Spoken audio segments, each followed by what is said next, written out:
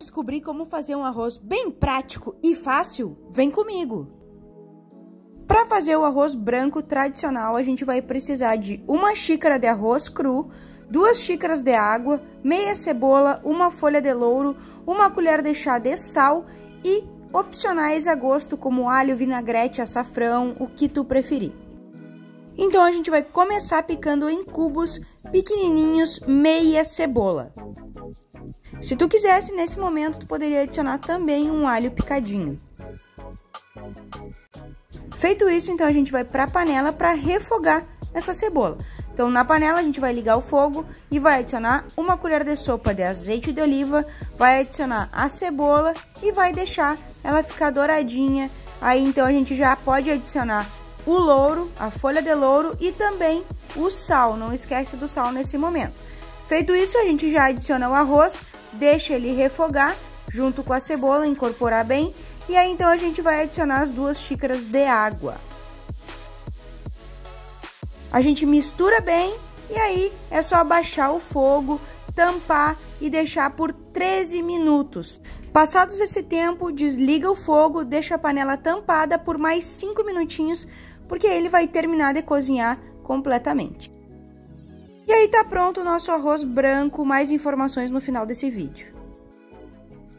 Agora eu vou te ensinar também a fazer um arroz integral, bem soltinho, tá? A gente vai utilizar uma xícara de arroz integral, para 3 xícaras de água, tá? Os demais temperos são os mesmos que eu usei para fazer o arroz branco que eu mostrei antes. A gente vai começar refogando a cebola e nesse momento a gente já adiciona também a folha do louro. E aqui é a primeira diferença para o arroz branco, a gente vai adicionar primeiro a água, porque o arroz integral a gente não refoga. Então a gente adiciona a água na panela, tá? As 3 xícaras de água e depois vai adicionar o arroz integral. Adiciona o arroz, adiciona o sal também, mistura para ficar tudo bem homogêneo e aí então deixa cozinhar por 20 a 25 minutos, tá? Coloca 20 minutos no teu timer, confere, vê se tá é, cozido, se ainda tem água. Aí tu deixa mais uns 2 até 5 minutinhos que ele vai estar tá completamente cozido.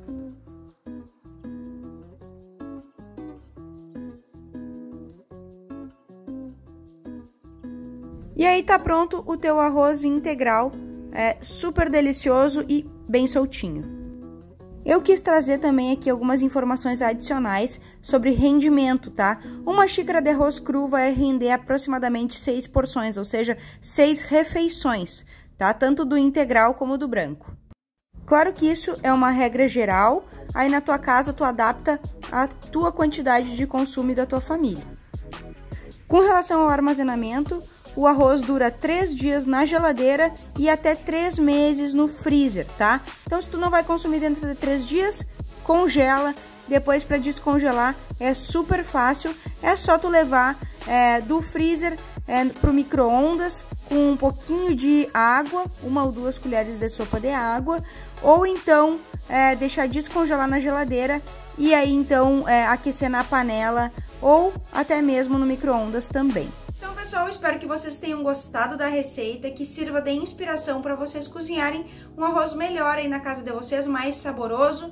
É, e também não esquece de deixar o like, se inscrever no canal, ativar as notificações para não perder nenhum vídeo, porque toda quinta tem receita nova aqui, tá? É, fica à vontade para deixar críticas e sugestões nos comentários e a gente se vê na semana que vem. Até lá, tchau, tchau!